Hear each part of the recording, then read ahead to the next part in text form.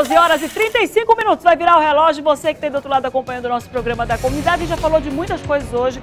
Problemas, preocupações que a gente precisa ficar ligado. A gente vai continuar aqui tratando desse assunto, mas agora a gente vai dar uma amenizada. Eu ainda estou esperando pela sua ligação. Você que é professor, você que é parente professor, você que é pai de aluno, para a gente lidar com esse assunto que hoje está aí incomodando todo mundo, porque é um assunto que a gente não pode deixar passar, que é a questão da greve dos professores na rede estadual de ensino. Mas agora a gente dá uma amenizada porque a gente vai é, trazer para você que está do outro lado um pouquinho da história do nosso mundo selvagem, né? O que, que a gente tem na nossa floresta rica, linda, como é que funciona aí a nossa fauna. A gente vai trazer para você que está aí do outro lado e num super quadro, que é o quadro Manaus Selvagem, com o Rodrigo Hidalgo. Mas antes disso, vamos ver uma reportagem que ele fez especial, que o Rodrigo adora fazer isso, viajar aí pelo mundo, trazendo a história dos animais, para a gente poder entender um pouco como é que funciona, o que, que são os animais assim, quais são os tipos de animais, como é que eles se apresentam na natureza e principalmente para a gente dar o valor que eles merecem. Vamos acompanhar a reportagem.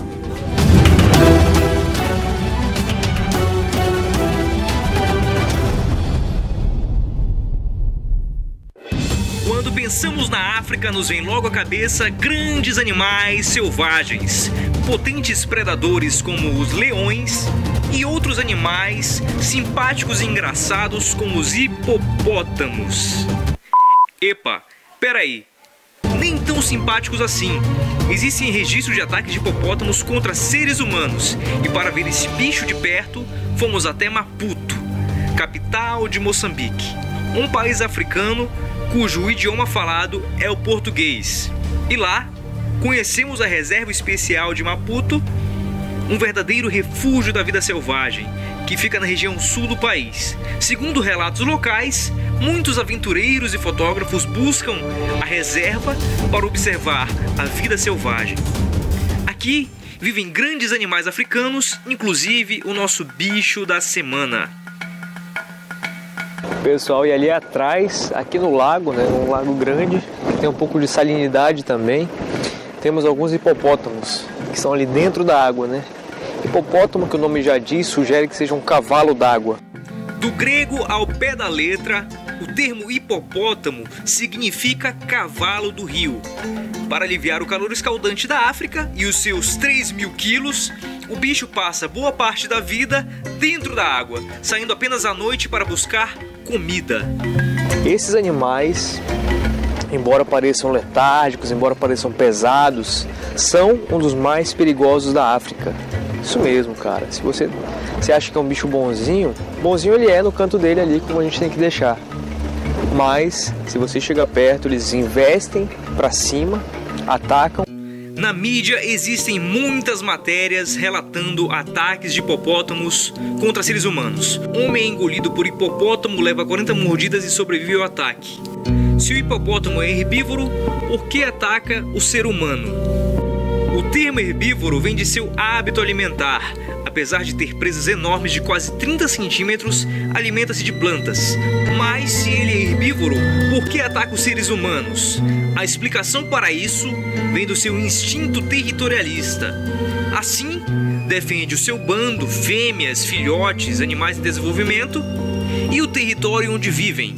Então vamos manter uma distância segura, respeitar o espaço do bicho e observar de longe. E é isso. A uma distância segura, o animal não se sente ameaçado e por isso não defende o seu território, evitando assim possíveis ataques. E semana que vem tem muito mais. Vem pra cá, Rodrigo Hidalgo! Opa, Márcia, bom dia, tudo, tudo bem? bem? Bom dia, Opa. é um prazer receber você aqui. Bom dia, pessoal. A gente trouxe essa reportagem para você. A partir de agora, o Rodrigo vai estar conosco todas as terças-feiras.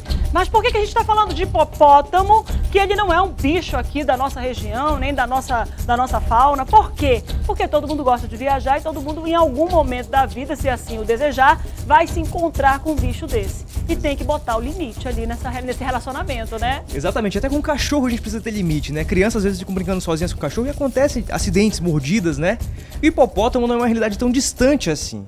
Se você for pesquisar um pouquinho, na Colômbia nós temos hipopótamos também. Na Colômbia, aqui do lado, cara, do Brasil.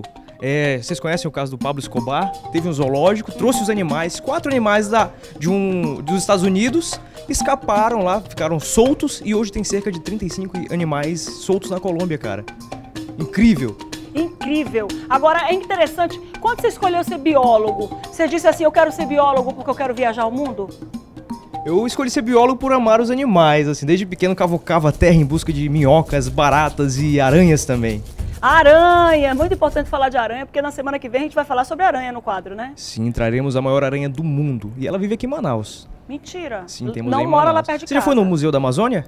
Ainda. Não me lembro se já fui, já devo ter Tem a ido. torre de 42 Já, metros. já fui, já fui há um Lá tempo atrás. nós gravamos a maior aranha do mundo. Sério? Quanto ela mede? Como é que mede? É na, na Uma palma da mão. Um bicho É que é o do quê? tamanho A da minha mão. caranguejeira, não? Imagina Qual é só. É uma espécie de caranguejeira, temos várias espécies de caranguejeiras aqui, e essa é a nossa aranha Golias, conhecida como comedora de pássaros. Mas nós gravamos esse bicho comendo uma das serpentes mais temidas da região, que as pessoas dizem, né? Se não mata, ela aleja, que é a famosa jararaca. A aranha comeu a jararaca? Você consegue acreditar nisso? Uma aranha que come uma serpente. Minha Nossa Senhora, essa aranha é do mal, viu? E quem tem aracnofobia? Não viaja, né? não, não vai nessa, nessa, nessa, nessa área, não. É impossível. Aracnofobia é quem tem medo de Sim, aranha, sim, sim, né? quem Que tem medo de aranha, Tô pavor falando de pro pessoal, aranha, né? tudo você que sabe, né? Tô falando pro pessoal que tá em casa. Sim. Porque eu, por exemplo, até aquela aranha que é papa-mosca, não sei se é esse o nome, Sim. aquela aranhinha pequenininha, se eu pegar aquela aranha na minha frente, eu dou-lhe uma mãozada pra ela ir pra bem longe. É interessante que quem tem Porque aracnofobia vê o bicho maior do que ele é. Imagina, uma aranha no canto, a pessoa já enxerga muito maior. Imagina a maior aranha do mundo, como é que essa pessoa não vai enxergar? Nossa senhora, nem me fala, nem me fala. Então na terça-feira que vem a gente vai saber um pouquinho dessa história da aranha gorila. Golias. Golias, gorila, Aranha Golias, Golias do tamanho é de uma mão. enorme, né? Do tamanho de uma mão. Exatamente. Venenosa, pode matar Toda aranha tem pessoa. peçonha, mas nem todas fazem mal pro ser humano. Esse animal é tranquilo pra nós. Mas pra Não jararaca, mata a gente, É, mas gente- morde. Pode ou morder, pica, pode doer. A expressão correta. Ela pica, no caso. Ela pica, tá bom. Na semana que vem a gente vai saber um pouco mais dessa aranha Golias, que eu chamei de gorila, porque ele falou que era tão grande que eu lembrei do gorila, né? 12 horas e 42 minutos. Dá rapidamente aí o teu Instagram, você tem canal no YouTube. Canal no YouTube, Manaus Selvagem começou no YouTube, né? Joga no YouTube Manaus Selvagem que você vai, você vai ver todo o conteúdo que a gente fez até hoje, né? Expedição África, Expedição Amazônia, fomos agora pra é, região de Barcelos também e tem muita coisa bacana. E o Instagram dele é arroba Manaus Selvagem. Exatamente. Fica ligado aí no Instagram. Obrigada, Rodrigo. Valeu, até a É um próxima. prazer receber você, viu, na Muito nossa obrigado, equipe. obrigado pessoal. 12 horas e 42 minutos, você que está aí do outro lado acompanhando o programa da comunidade. A gente vai encerrando o nosso programa de hoje. Hoje nós recebemos várias ligações, ainda bem, adoro receber a sua ligação, tanto de parentes de professores, pais de crianças que estão sem ir para aula por causa da situação dos professores e a nossa equipe de reportagem vai acompanhar de perto. Amanhã tem muito mais para você que está aí do outro lado. Outras informações sobre tudo isso que está acontecendo no no nosso estado no Jornal em Tempo de hoje, às 6h15 da noite. Tchau, gente. Até amanhã.